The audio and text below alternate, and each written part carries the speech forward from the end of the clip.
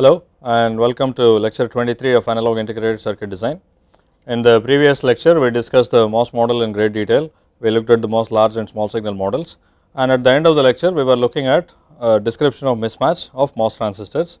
We could describe the mismatch in MOS transistors by two parameters mismatch in the current factor beta and mismatch in the threshold voltage Vt. Now, in this lecture what we will do is uh, look at how to use these parameters to calculate whatever we want in a circuit. We will take an example circuit of a current mirror and calculate the amount of mismatch. Okay.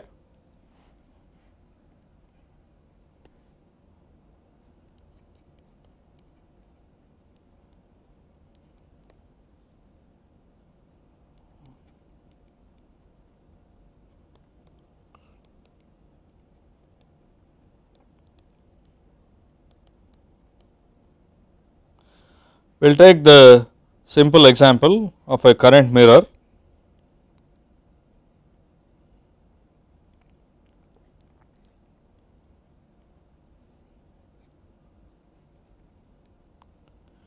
I am sure all of you are familiar with this. We have a diode connected transistor M0 and M1 here and we will assume operation in saturation region and negligible dependence on VDS. So, that the current here is nominally identical to I naught. Okay. Now, a current mirror is the perfect example with which to do mismatch calculations, because a current mirror after all is supposed to replicate the current exactly. So, any error due to mismatch will contribute to error in the output and will be of some concern. We have to see how to control the amount of mismatch, so that the output is within a certain accuracy of the input current. Okay. Obviously, I have assumed that each of these has the same size W and L. Okay.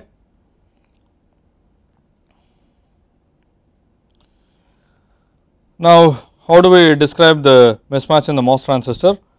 So, if uh, this has V t 1, the second transistor has V t 1 plus delta V t and if M 0 has a certain uh, current factor beta 1, this has beta 1 plus delta beta. Okay.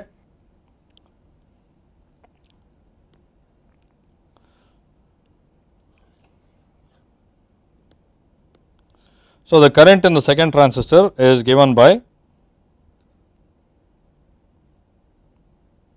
let me call this uh, maybe I will change the notation here let me call this M1 and M2 and I will call this I2 I2 is nominally equal to I0 okay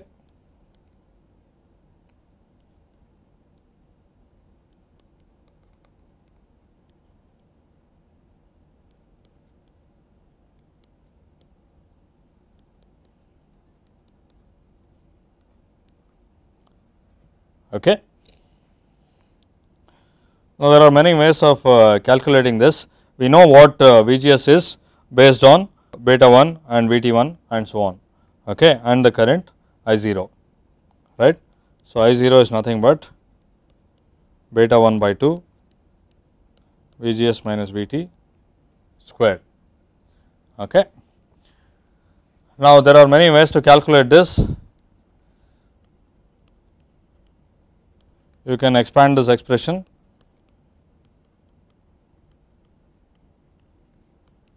and the key to any mismatch calculation is to neglect second and higher order terms and keep only first order terms of the mismatch quantities. Okay. So, that means that we will uh,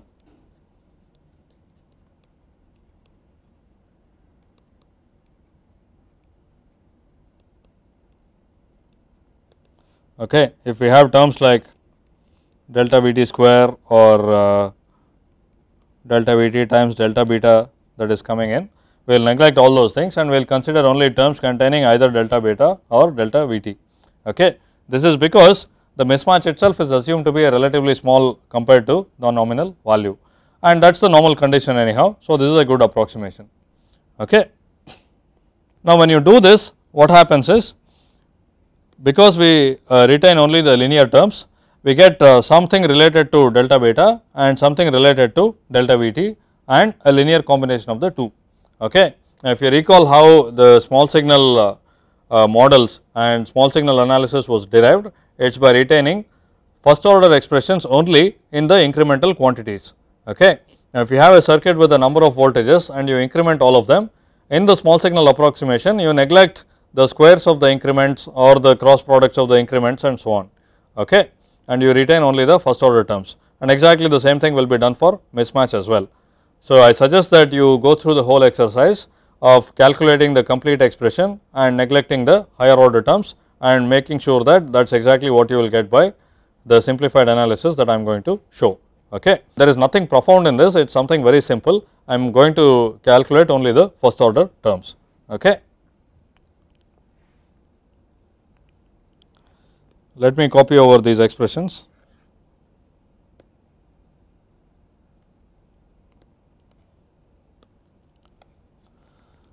Now, because I know already that I will get two terms one related to delta beta and one related to delta Vt and the sum of those two. So, instead of going through the whole calculation I will first assume that I have only delta beta okay, and no delta Vt. In that case this expression would be beta 1 plus delta beta by 2 times Vgs minus Vt squared because I was anyway going to neglect the product of delta beta and delta Vt this is a good enough approximation. Okay. So, the effect of delta beta would be that I 2 simply equals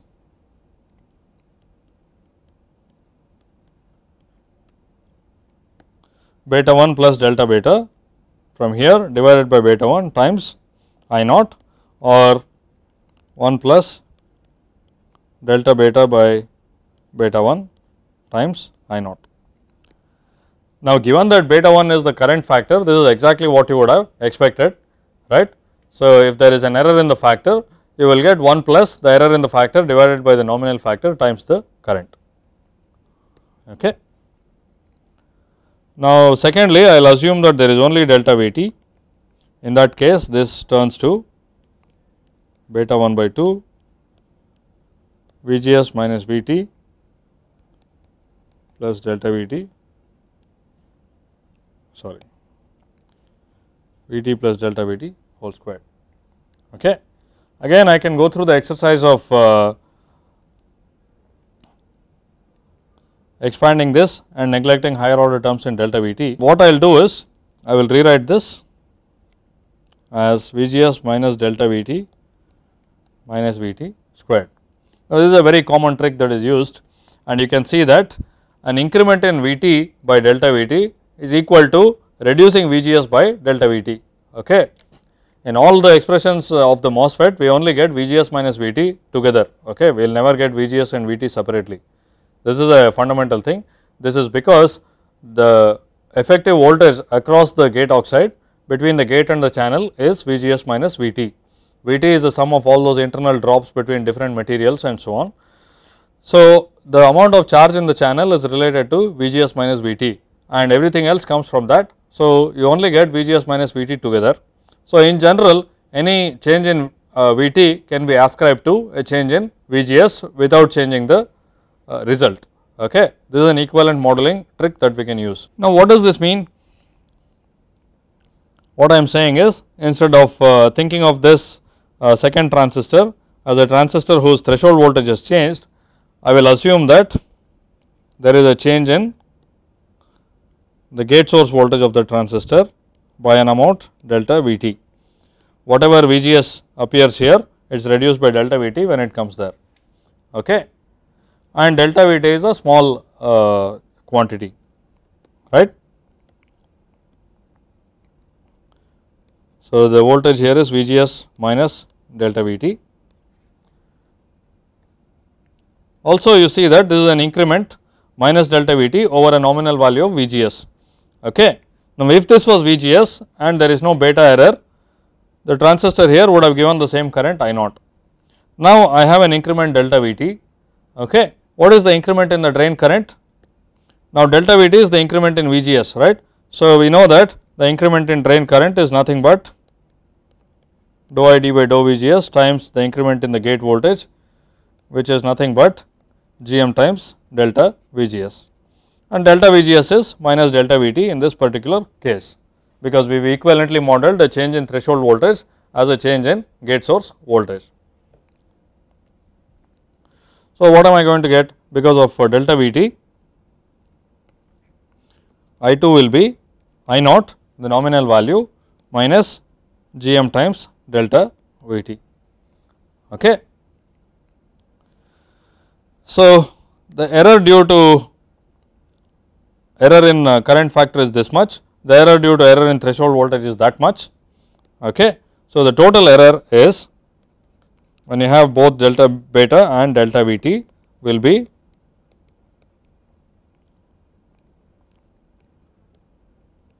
I naught minus Gm delta Vt plus delta beta by beta 1 times I naught. Okay. So, as I said earlier please go through the complete expression neglect the higher order terms and make sure that this is exactly what you get. Okay. It is a good exercise in analysis also just to increase your confidence in this kind of calculations. Okay. Now, first of all does this expression make sense? If delta Vt is positive what does it mean? The threshold voltage is increased and the current will reduce and we have minus Gm delta Vt. So, that part makes sense. Similarly, if the current factor increases delta beta will be positive and the current will be positive. So, the sign in front of that is also positive. So, that makes sense as well. Okay. Now, as usual when uh, we are dealing with mismatch we are not interested in calculating the exact current that is not possible because each of these delta Vt, delta beta are random quantities just like delta R and delta C. Okay. They have Gaussian distributions around some nominal value and what we describe is the standard deviation of that distribution because it is a Gaussian once you specify the standard deviation you have described the whole thing. And for the output uh, current as well for I 2 we have to just specify a standard deviation. Okay.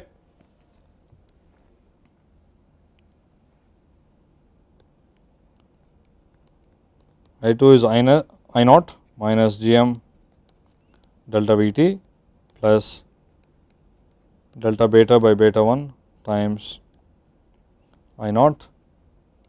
So, I 2 minus I naught is given by minus Gm delta Vt plus delta beta by beta 1 times I naught. Okay. And normally what I am interested in uh, finding out this is delta I is delta I in relation to the nominal value of I naught. Okay. So, I will divide the whole thing by I naught. Okay. So, delta I by I naught turns out to be minus G m by I naught delta V t plus delta beta by beta 1. Okay. Now, we know that G m can be described by many expressions and one of the expressions was 2 times I naught the drain current divided by V g s minus V t. This is the most convenient form to be used here. So, G m by I naught simply becomes minus 2 divided by V g s minus V t and I have delta V t over there plus delta beta by beta 1. Okay. we want to find the standard deviation or the variance of this one and we know that when we have uncorrelated uh, random variables delta Vt and delta beta, this is a very common assumption that uh, these different things are uncorrelated. Also uh, the variations of different kinds of components are uncorrelated from each other. Okay. We assume that variations in Vt and variations in beta are uncorrelated. So, the variance of uh, this is given by 4 times the variance in V t divided by V g s minus V t square plus sigma beta square because sigma beta is nothing but the standard deviation of delta beta to the nominal value of beta. Okay.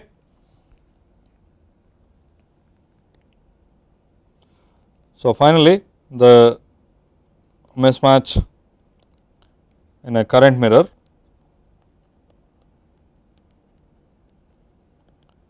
is given by this expression. The variance of uh, mismatch is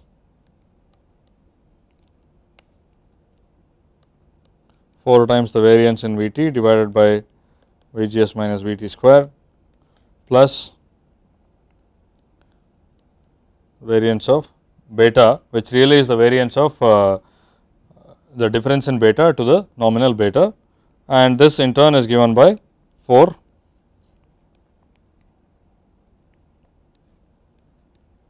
AVT square by VGS minus VT square times WL plus A beta square by WL. Okay. So, first of all what are all the things we can conclude from this? Clearly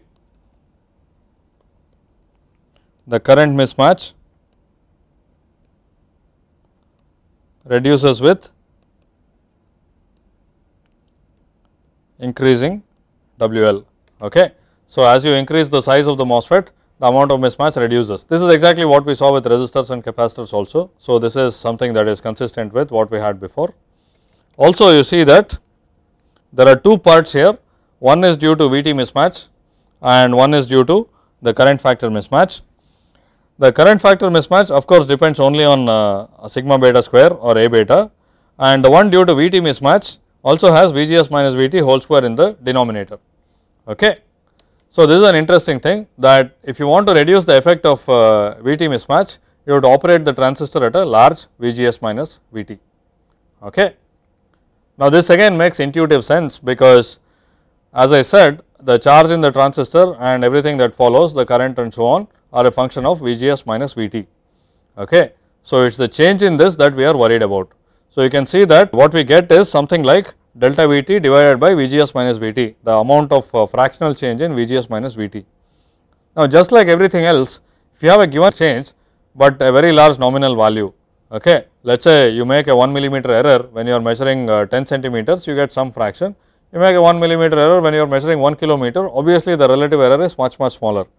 So, if you have a large Vgs minus Vt then the same delta Vt appears as a smaller fraction of that and the effect of uh, Vt mismatch will be smaller. Okay. So, that is one thing to be kept in mind. Secondly, you see that last time I said when you operate a transistor in subthreshold region that is when you operate a transistor with smaller and smaller VGS minus VTs, uh, there are some benefits like increasing uh, transconductance for a given bias current. But here you see that the effect of VT mismatch will be worse okay, because delta VT divided by VGS minus VT will increase if VGS minus VT becomes smaller. Okay. So, there are trade offs everywhere we will uh, try to put all of them together and usually uh, the process of design is a judicious choice of parameters so that no single factor will uh, kill your circuit. Okay.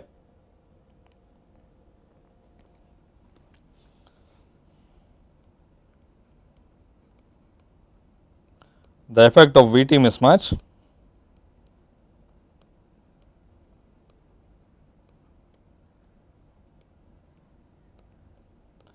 reduces with increasing VGS minus VT. Okay.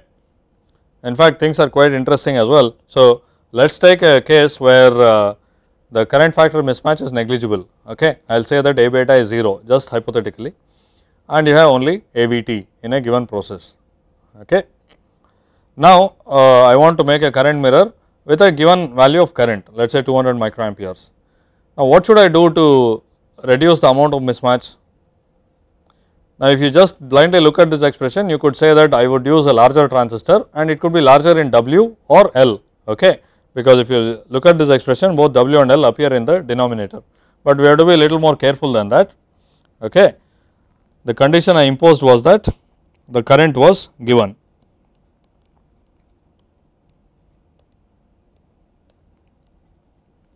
whereas the expression that we have assumes a given VGS minus VT. For a given current what do we have? I naught is uh, beta by 2 VGS minus VT square. In other words, VGS minus VT square is 2 I naught by beta. Okay. Now, substituting that we will have the standard deviation of uh, delta I by I naught to be 4 AVT square divided by this term. Okay. And what is beta after all? 2 I naught by mu C ox W by L. Okay.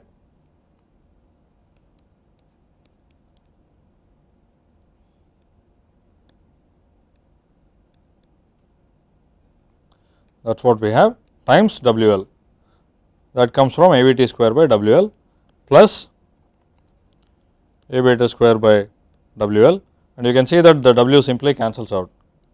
Okay. So, we will have some constant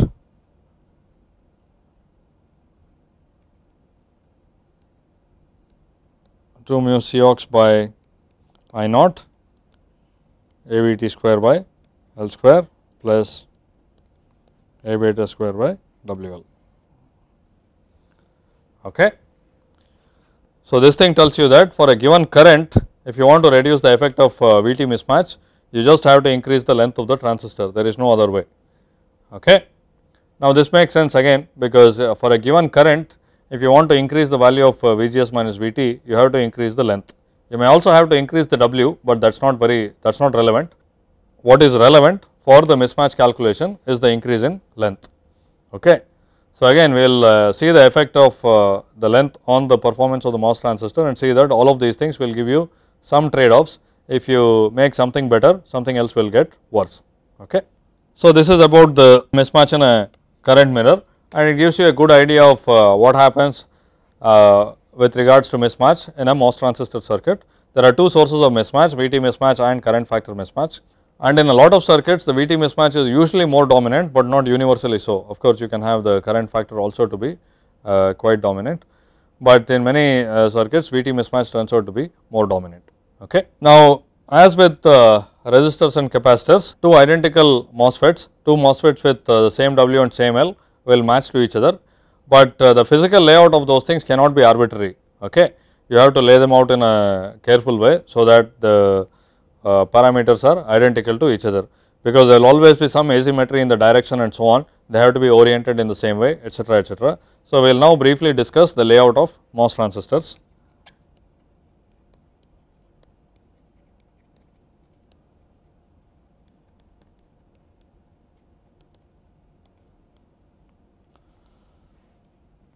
Now, first of all uh, as I mentioned earlier the proportionality to W is more or less exact, but the inverse proportionality to L is not.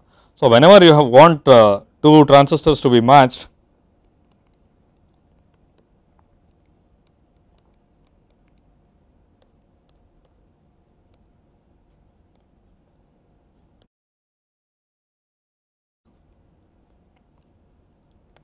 you do design them with identical values of L. Okay. This is sort of non-negotiable unless uh, there are some cases where you cannot do this at all, you always do this with identical L. You will never make a current mirror with uh, the two uh, transistors having different lengths. Okay. And as with any other uh, component,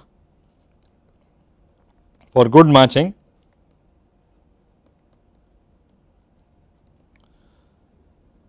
you should use multiples of identical units. Okay. So, for instance, let us say I want uh,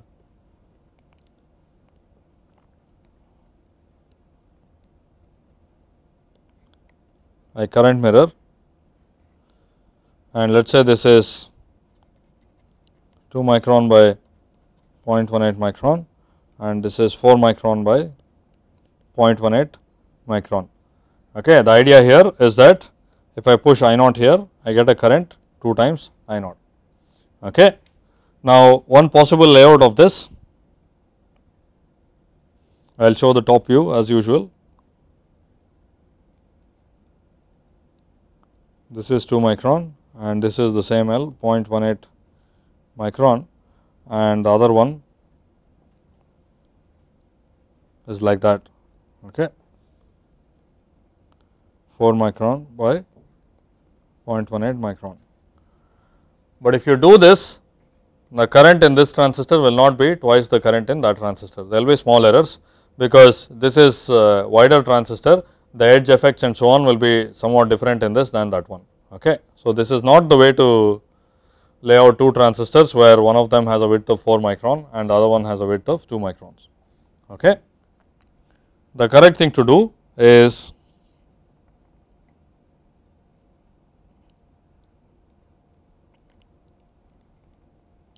have 3 transistors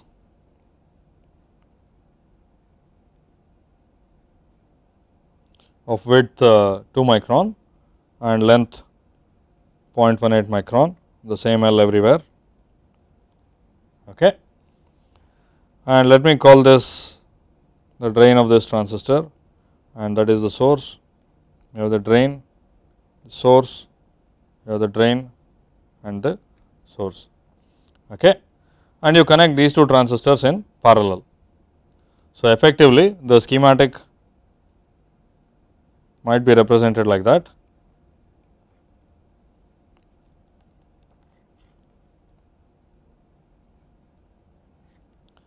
Now, all three transistors are uh, 2 micron by 0.18 micron, but these two are tied together. So, you can effectively think of them as a single transistor of 4 micron by 0.18 micron, but the physical layout has to be something like that.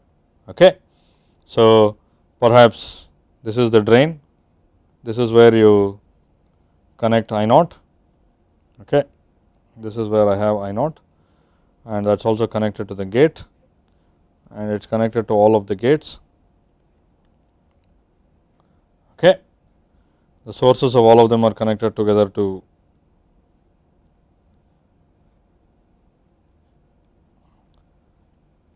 ground if this is ground and the drains are connected together. Okay. So, this is the point from which you get the output current. Okay. So, you have to lay out identical units and connect some of them in parallel, right. Now, this is done very frequently with MOS transistors. Let us say you have a width of 100 microns and a length of 0.18 micron and this is not as strange as it sounds. You could even have width of a millimeter and a length of 0.18 micron. You never ever uh, lay out something uh, so eccentric that is you will not make it uh, 1 millimeter long like this and only 0.18 micron long. Okay. If you make it 1 millimeter wide and 0.18 micron long, it will be so wasteful of area that you will never ever do something like that. What you do is in general when you have W by L, W has some dimension and L has another dimension and I have already explained that it is not the ratio, but the dimension of each one that matters it is cut up into n pieces of W by n divided by L in parallel. Okay. n devices of W by n divided by L in parallel. Okay. This can give you a reasonable aspect ratio and usually this W by n can be of course any value, but typically let us say 0.5 microns to a few microns. These are not sacred numbers, these are all uh, usual guidelines, but uh, sometimes these could be violated as well, but this will ensure that you do not have a very eccentric aspect ratio. Okay. And these uh, different devices are usually called uh, fingers, because essentially when you have n devices, it means that you have n gates of uh, W by n width. Okay. So, what I mean is the following top view of uh, such a layout will look like that. The gate fingers are all laid out next to each other.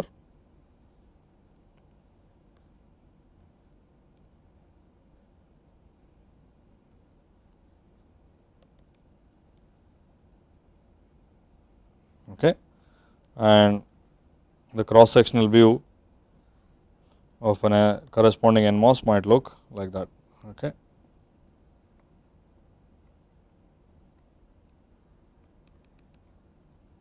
all the way up to there and these are all the n plus regions. Okay. I will mark them like that. They correspond to these things. Okay. So, you will have n gate fingers, each one will have a length L, okay. all of them will have the same length L and a width equal to W by n, right.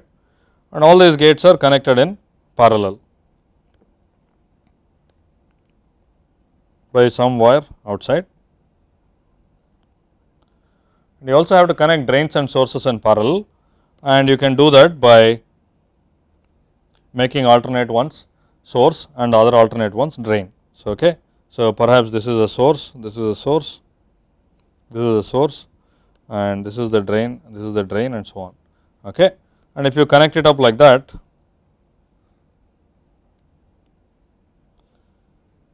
right, this is also the source let us say and then you connect the drains also correspondingly.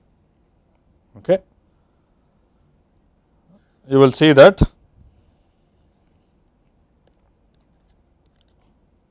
this is the same as having all the gates of uh, n fingers connected together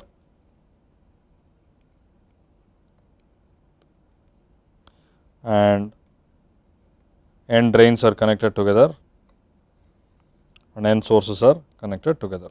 Okay. This is the gate. So, the way it has been laid out is that between two gates there is a diffusion region and that serves as the drain of this transistor as well as that transistor. Okay.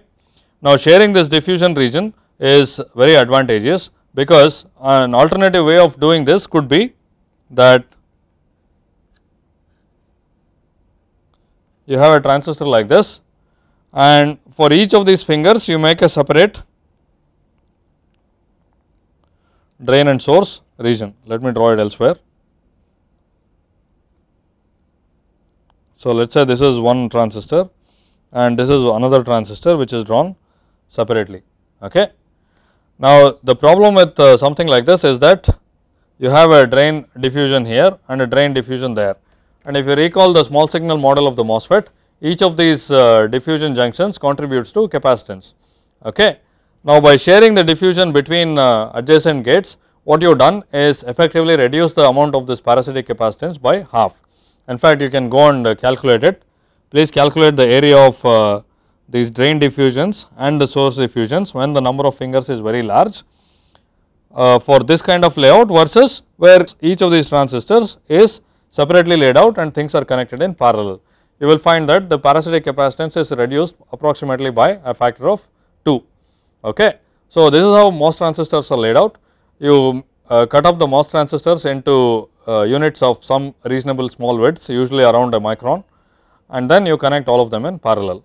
Now, if you want a current mirror what you do is you just expand this array okay you have as many of these units as you want and connect the drains and sources appropriately okay. This kind of uh, layout is used very very often and the moment you start using a, a layout tool to do the layout of the MOS transistor please start using this method okay? Please do not use uh, separate layouts of MOSFET or uh, certainly not different lengths for uh, devices that are supposed to be matched or devices that are laid out in different orientations and so on. They should all be uh, laid out in a array of fingers like this. And if you want a current mirror let us say I will just continue this array with uh, more fingers. And remember the terminals of the two transistors in a current mirror there is some common uh, terminal right the source of the two transistors are common. Okay. So, this uh, terminal between the transistor corresponding to M1 and transistor corresponding to M2 can be the source terminal okay, and then you can connect up the rest. And also while laying out uh, resistors and capacitors I mentioned that for good matching you put dummy devices at either ends in this case you put dummy fingers okay. Again I will show it quickly with an example of a current mirror. Let me assume that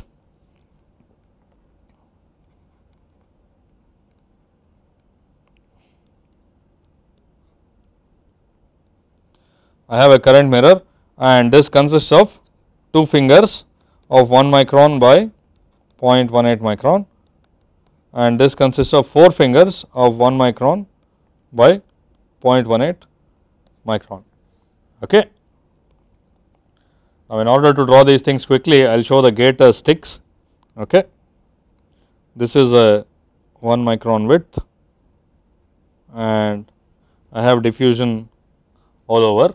If you study books on layout, you will see that a gate polysilicon drawn over diffusion forms a MOSFET. Okay. So, first of all for uh, M1 I need two fingers let us say these two form M1 these vertical lines denote the gates perhaps I will draw them in a different color. So, these are gates okay. and for the right side transistor M2 I need uh, 4 fingers okay, and I will connect all of those gates together. Okay. And because this is a current mirror, this is also connected to that one. Okay. That forms this terminal here. Now, for the drain of M1, this is what I have. This is the drain of M1 and the source of M1 and M2 which are common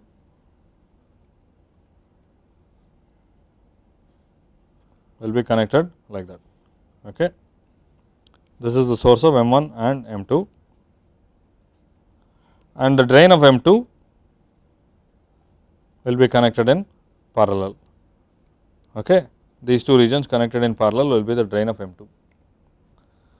And finally, you see that there are totally 6 gate fingers.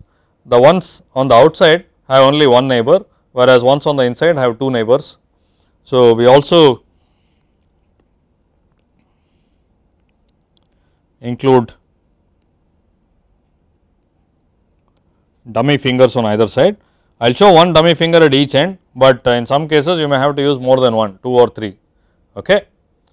So, that is like having 2 more transistors in the circuit and remember the source terminal is common to this transistor and that as well. So, the source of this uh, happens to be grounded in this circuit and source of that is also grounded but these transistors are not uh, useful transistors, I have no role for them in my circuit. So, they should really carry 0 current. So, that means that what I can do is to connect the gate to the source. If I do this VGS will be 0 and the current will be 0. Okay. So, for these uh, dummy transistors I will connect the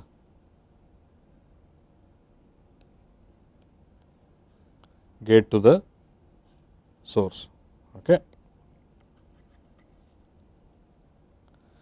In a real integrated circuit, you have many layers of metal and you have to arrange the layers of metal, so that you come up with uh, this particular layout. So, this for instance is an example of a reasonable layout for a current mirror, where you take care of matching uh, very well. Okay. That is you have uh, each transistor laid out as uh, multiples of identical units, one of them has 2 units, the other one has 4 units and you also take care to put dummy transistors at both ends. So, that all of the gate fingers that form the current mirror see an identical environment. Now, there is also one more thing that you can do, you can see that M2 is to the right of M1 in this case, we have M2 here and M1 there, but that may or may not be the best layout. Sometimes you may want to have a common centroid for M2 and M1. So, what you then do is you make the middle two fingers M1 and these two and those two combined will be M2. Okay. So, that M1 and M2 have the same centroid geometrically that way the matching between them will be best. Okay. Even if there is some linear gradient in the parameters of the transistor across the chip they will get cancelled out and you get identical behavior. Okay. Now, this is a lot of detail, but uh, to get an IC to work successfully you have to mind all these details okay, because one of the differences between uh, designing a discrete uh, component circuit and an integrated circuit is that in a discrete component circuit you do not have freedom to play around with the insides of the device. You are given the package device, you solder them on a board as carefully as possible and then uh, your job is done. Whereas on an integrated circuit there is freedom to even uh, uh, modify the geometry of individual devices okay and it has to be done very carefully, so that you get the best result that is possible. Now, one last point about layout. Now, it turns out that while these uh, transistors are being made, you have dopants being diffused from the top and there is some asymmetry. There is some asymmetry in transistors which carry current in that direction and transistors which carry current in that direction. Okay. Now, to avoid this, uh, a simple technique is to always use an even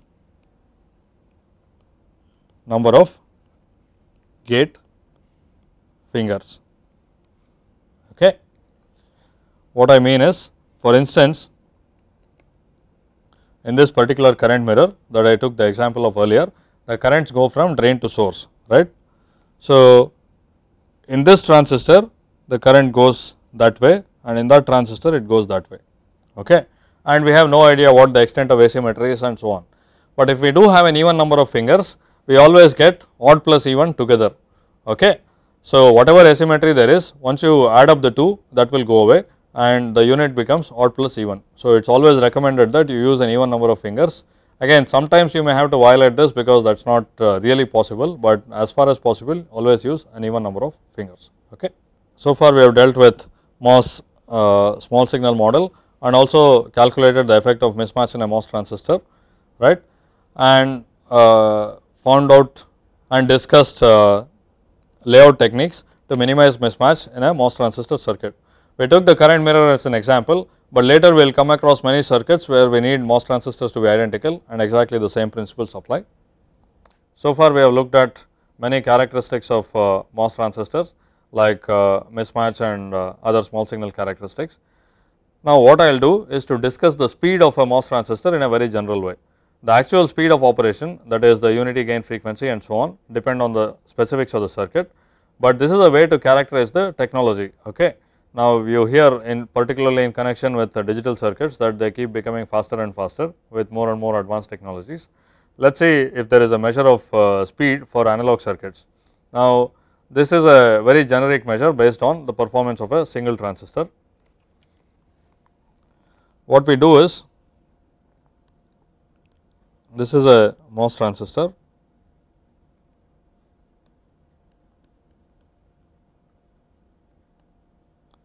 and this is the equivalent circuit. I will ignore the body effect and other things, I will also ignore CGD. I will assume that this is a MOS transistor operating in uh, uh, saturation region.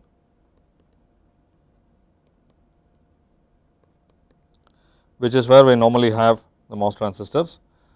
So, it has a CGS, I will assume CGD to be 0 okay, and it may also have some uh, CDB.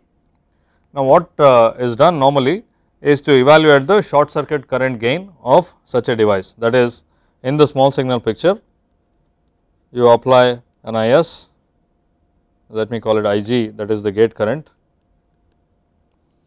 and measure the value of ID that is you apply a small signal short circuit and measure ID. Now, this seems like a strange thing to do to apply a current to the gate. Here we are talking about high frequency currents and that can flow into the gate. And also this kind of test was previously used for bipolar transistors which were very popular. There it was very common to characterize the bipolar transistor with the current gain. Now the same thing is borrowed to characterize the speed of MOS transistors as well. Now this is the incremental picture. In reality it has to be biased and the short circuit and this current sources are uh, small signal incremental sources. If I write the small signal equivalent of this the circuit is really really simple. I have uh, IS I will show it as a function of frequency. And I have uh, CGS GM I could have some parasitic capacitance from drain to source or substrate, but because it is terminated by a short circuit that is ignored. So, I will have Gm times Vgs as the current where Vgs is this voltage. It is very obvious that Vgs equals Is by S Cgs. Okay. So, the drain current will be simply Gm by SCGS times IS. Okay.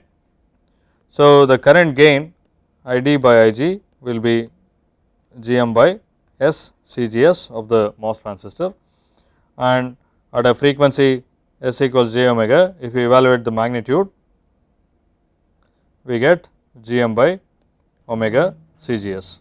Okay. Now, you see that this MOS transistor also behaves like an integrator if you consider the input to be a current and the output to be a current. Now, the unity gain frequency of this integration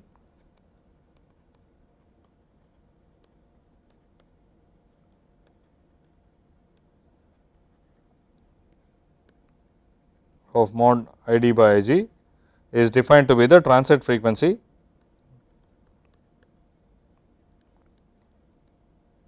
Ft and that is of course given by Gm by Cgs. Okay. Sorry, this is the omega t. This is the transit frequency in radians per second omega t. And if you want Ft, you simply divide the result by 2 pi. Okay. As I said earlier, these terms and uh, the definition are borrowed from bipolar transistors. Now, uh, omega t being Gm by Cgs, we can calculate it for uh, some transistor biased at Uh, given VGS minus VT. Okay. So, if you have a transistor biased at some VGS minus VT, the value of Gm is given by mu Cox W by L VGS minus VT and CGS itself is given by Cox WL. Okay. So, what we have here is sorry 2 thirds Cox WL in saturation region. So, what we have here is 3 by 2 mu VGS minus VT divided by L square. So, both uh, Cox and W cancel out. So, you see that the transit frequency depends only on the mobility, the operating point VGS minus VT and the length of the transistor. Now, you also hear that as you go to more advanced technologies, the minimum length goes on reducing so, this transit frequency goes on increasing for a given bias voltage. Okay. Now, if you take a, a process technology, the transit frequency will be specified okay, for some value of VGS minus VT that is typically equal to the power supply or a large fraction of the power supply.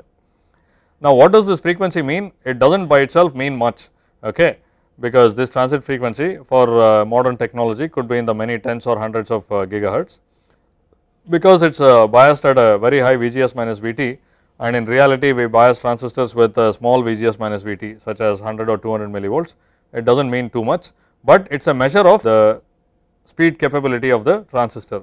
That is if for the same VGS minus VT if you have go to a shorter channel technology the maximum possible speed will increase. Okay.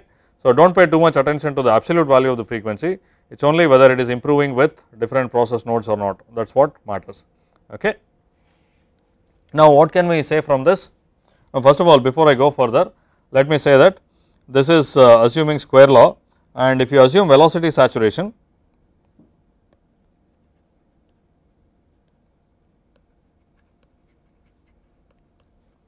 the speed of carriers uh, in the device is mu times VGS minus VT by L. Okay? That is the mobility times the electric field in the device. And this will be replaced by V sat. Okay. So, in case of a velocity saturated device this will change to 3 by 2 V sat by L. So, the 1 over L square dependence will go away and you will have 1 over L dependence, but in either case if you go to shorter and shorter channel uh, MOS transistors the speed will increase. Okay. The reason I discussed all of this is to give you a flavor of uh, trade off between speed accuracy and uh, power consumption in a very general way. Okay. Now, all three are important you would like your circuits to consume very little power, you would like them to be very accurate that is very little mismatch related error and you would also like them to work at very high speeds.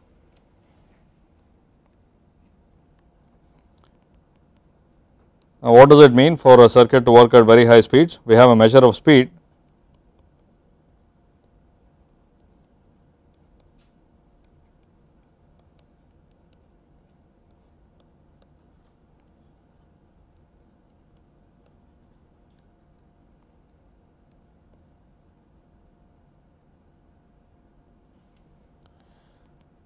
okay, and this has to be high which means we use as short a channel transistor as possible.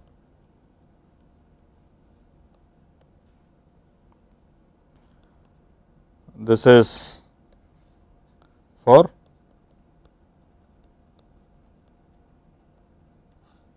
high speed and you would also like to operate the transistors with a high VGS minus VT. Now, for high accuracy we have earlier uh, derived the expression for uh, mismatch.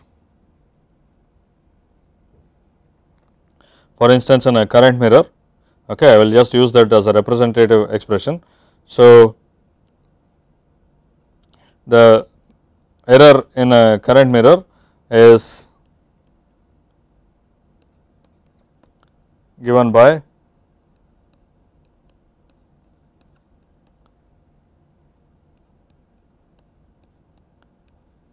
something like this.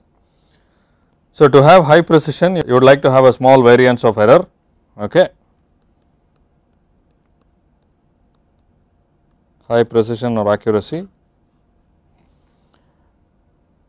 you would like to use long channel L the channel length must be long and also a large uh, transistor okay large W as well.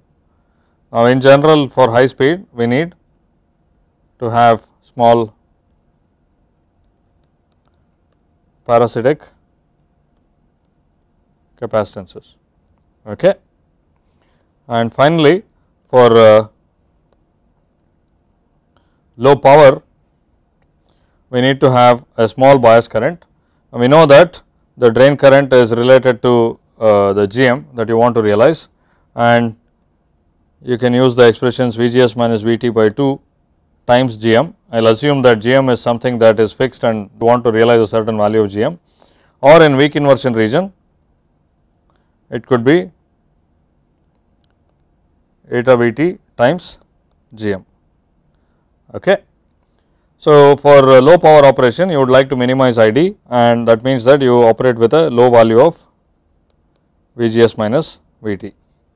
Okay. So, clearly you see a conflict between uh, these three requirements.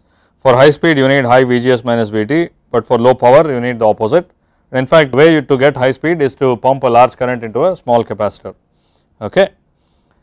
Similarly, for a high speed uh, device you need a short channel length and also in general minimize all parasitic capacitances, but uh, here uh, for high accuracy you need to have a long channel L and in general a large device which also implies large parasitic capacitances.